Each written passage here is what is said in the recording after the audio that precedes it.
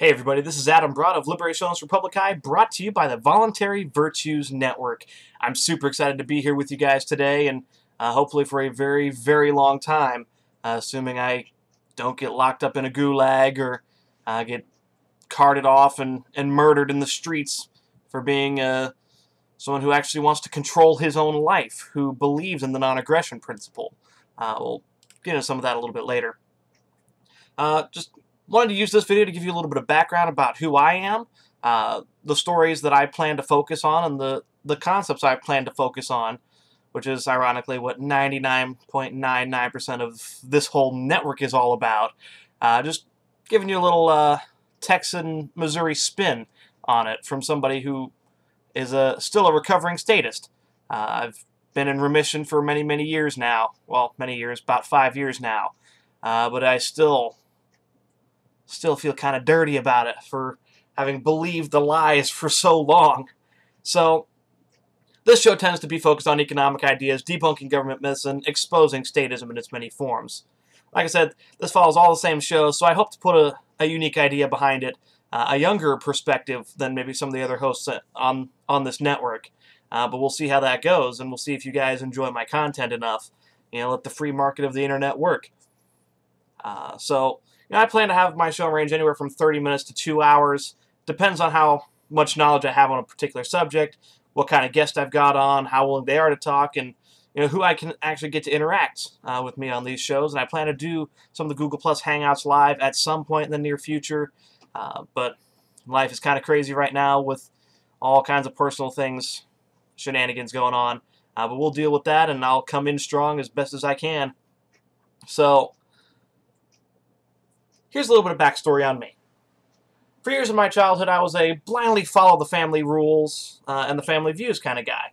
This meant that since my dad was in the Air Force and my dad was training to become a pastor uh, towards the latter half of my young childhood, uh, I was a war-supporting, big commie-hating, neoconservative, proudly saluting the flag Boy Scout who was singing the loudest with the national anthem every time it popped on anywhere. And I would say that Pledge of Allegiance so proud it's it's sickening to think, you know, how bad I was back then. Uh, so I, you know, I was very conservative leaning. I was listening to Rush Limbaugh when my parents had it on the radio. You know, I was a, you know, a big Reagan conservative. As much as I understood about that, all I knew was Reagan good, everyone else bad. Jefferson good, everyone else bad. Lincoln good, he freed the slaves, awesome. Kennedy died young, kind of a shithead. Great, whatever this Bush is going to be awesome.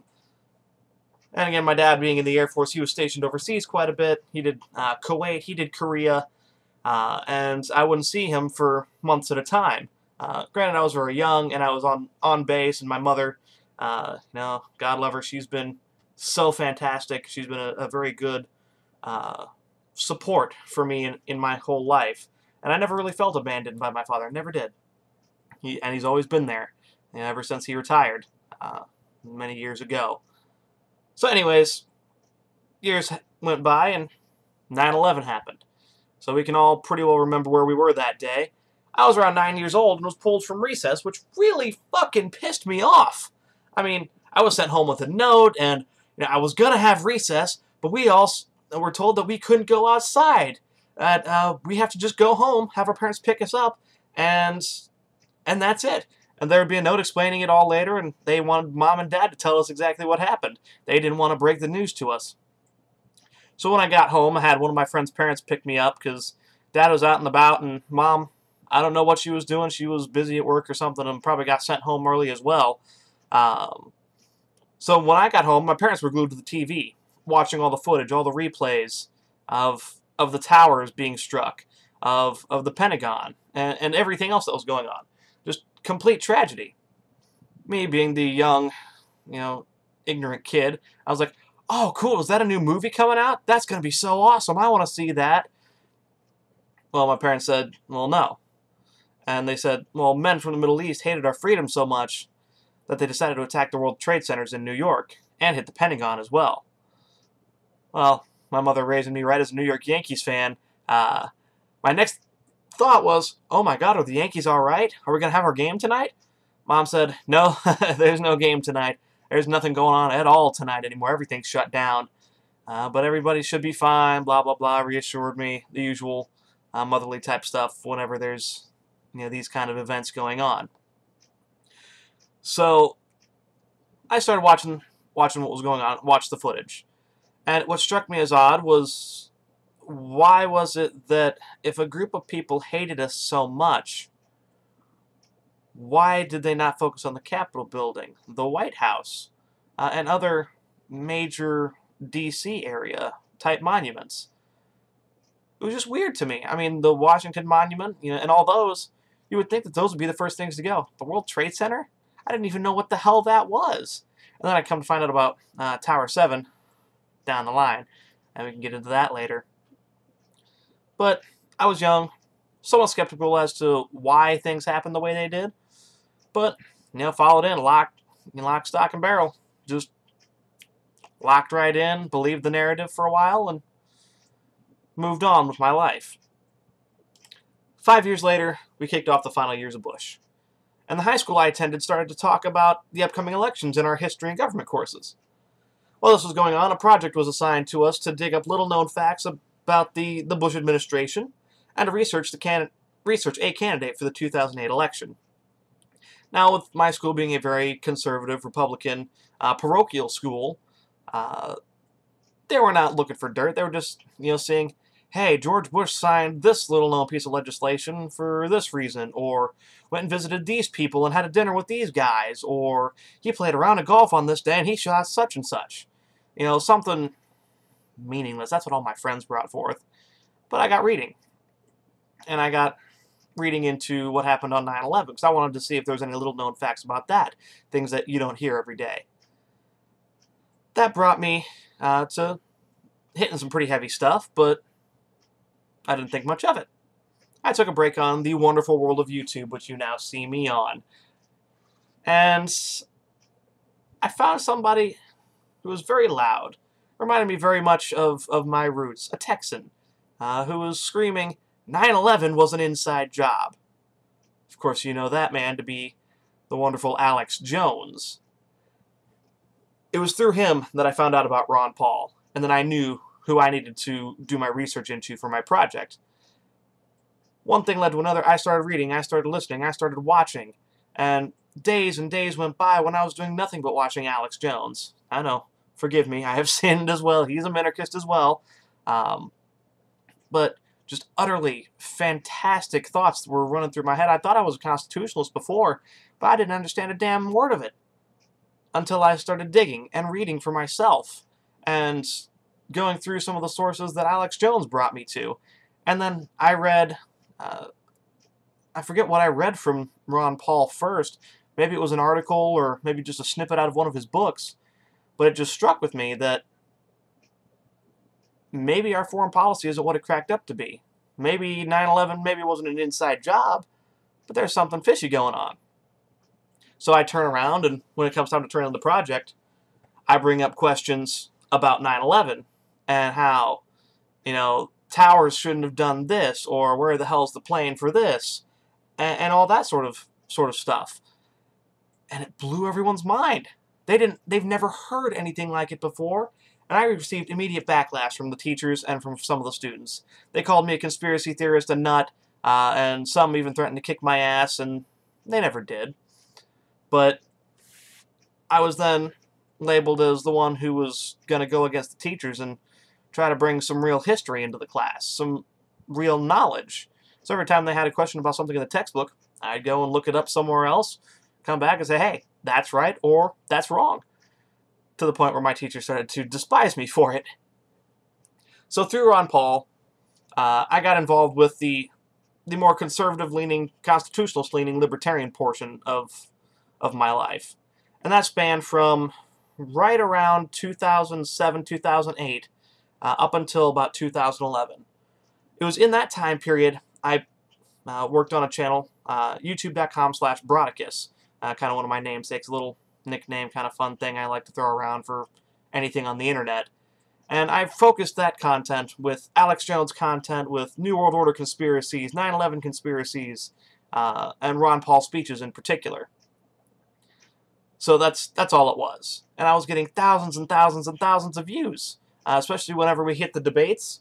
Uh, my God, my ratings shot up, and I had, I was getting close to 500,000 views, I think, at one point.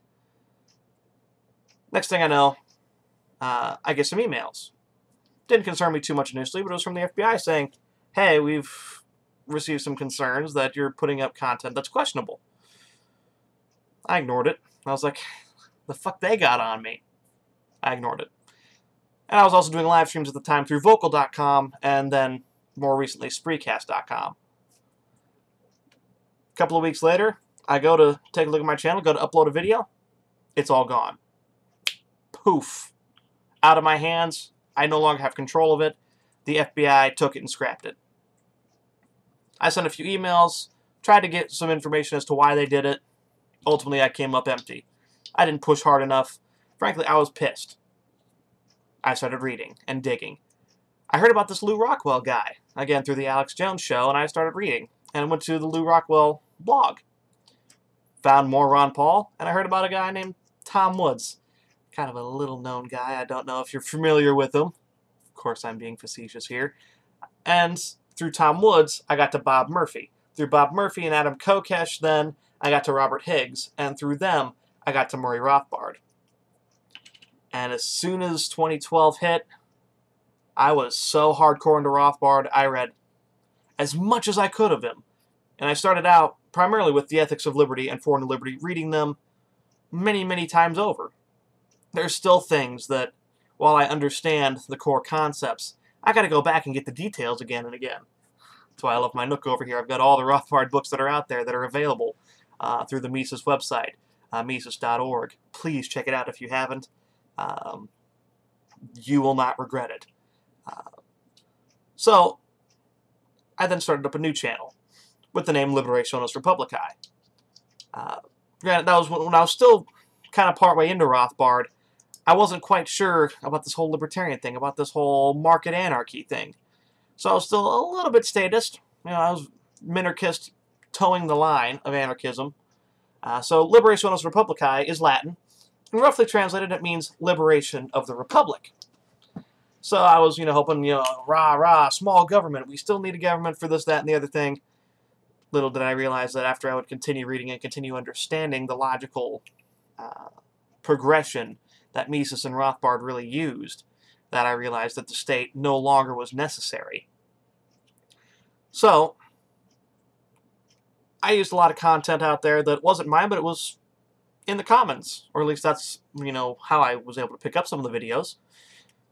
Now I'm doing completely original content using inspirations from Mises and from Rothbard, uh, but I'm putting it all together myself. I've got my own intros, I've got my own outros. You know, I record everything myself, or if I don't record it myself, I work so closely with the people that I'm with that do the videos with me that there's so much of me in there, it's ridiculous. Uh, now being a fully recovered statist and being able to focus on voluntarism, truly free markets, and the non-aggression principle, I can pretty well see how free society can be achieved if we just try to make it happen. And that's the big goal. I want to equip people with the knowledge that you know, we don't need perfect knowledge going forward. We don't need to have an answer for every question. When we focus it all on the non-aggression principle and a protection of property rights and the fact that there are property rights, uh, just inherently with you being you, with you being born, you being a human being, then true freedom can be achieved. Maybe not in my lifetime, but in a lifetime down the road. So, Liberationis Reipublicae, I've done a series uh, called Mises Quote of the Day. I do a series uh, called Liberty Chat, which is kind of, eh, I might scrap that little series.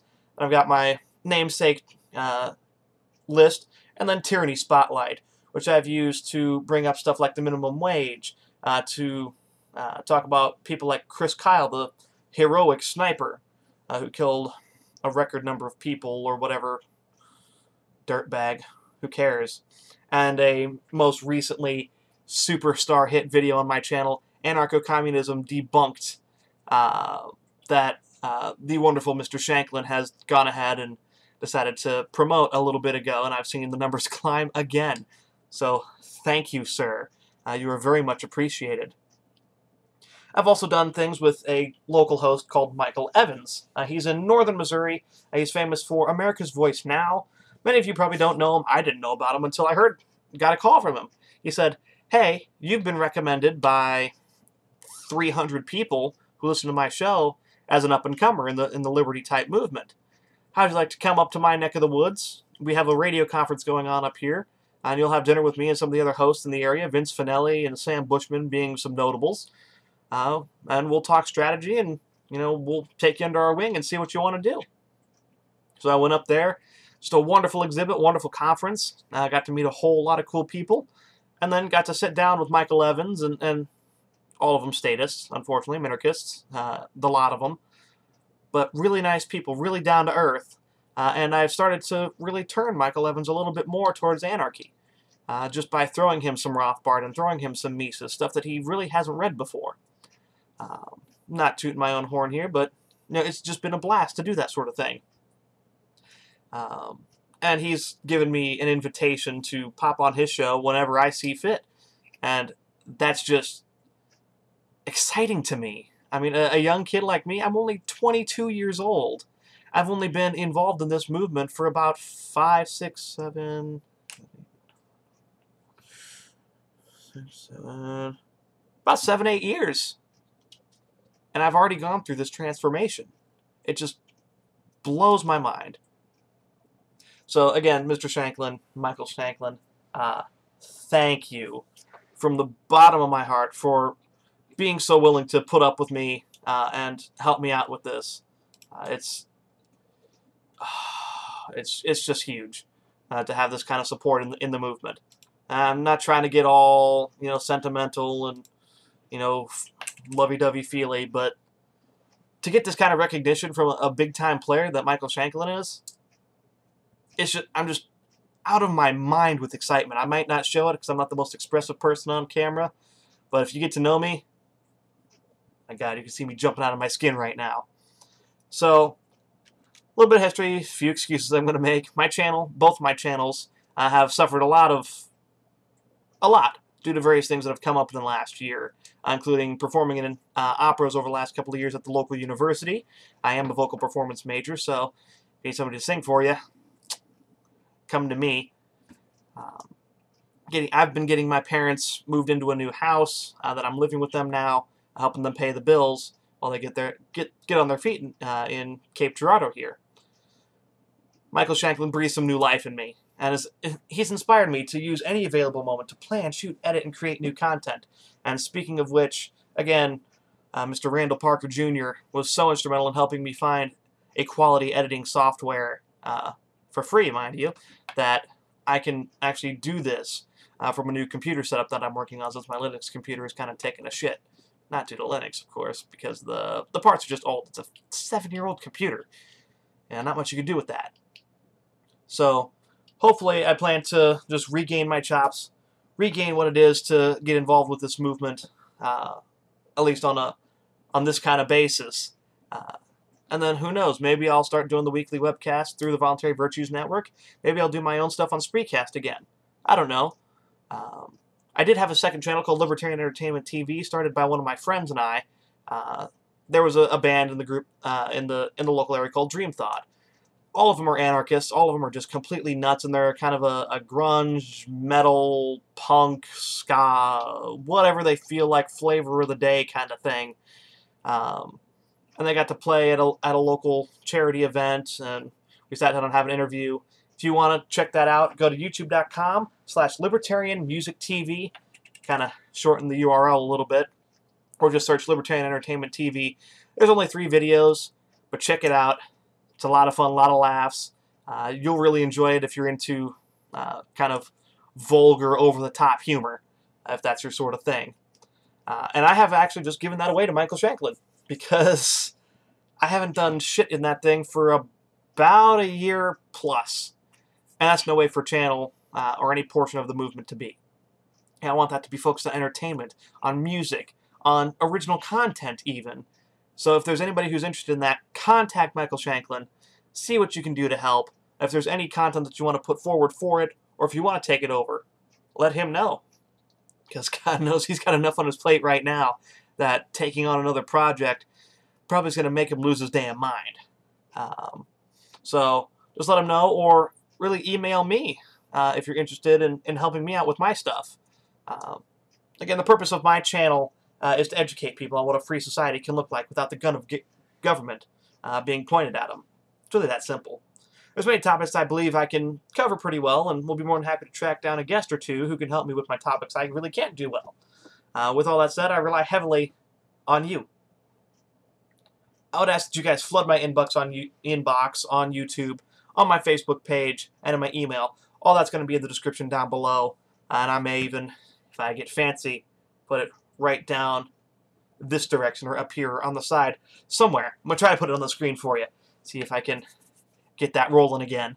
Um, also, I just talked with uh, Mr. Park, Randall Parker Jr., uh, but if anybody else has uh, some additional skills in video editing, uh, in, in, in sound quality, anything like that, or anybody's got any extra equipment that they're not using, uh, that you know they can give to me, well not give, I will purchase it from them for a very reasonable market price, uh, you know, in a good barter situation. Uh, that way we can increase the quality of my stuff to the best it can be for you guys. Uh, so let me know what you want. Let me know what I can do for you. Uh, let me know exactly what you want the show to be. I'm always looking for people who are willing to guest host, who are willing to, you know, just be a, a, a bounce back board. As you can tell, it's kind of awkward. I don't like to do just sitting and talking and ranting. That's not my thing. Give me a conversation. Give me face to face with individuals. That's where I thrive. And I think you'll see a little bit more of my personality come out through those. So, uh, gosh, I still got to find a way to fill a couple of minutes. Oh, fuck it. Michael, I hate your rules. It's going to be a little under 30 minutes. Suck it for now. so anyways, thanks for watching, guys. I look forward to seeing you next time. This is Adam Broad of Liberationis Reipublicae on the Voluntary Virtues Network saying peace and love and liberty.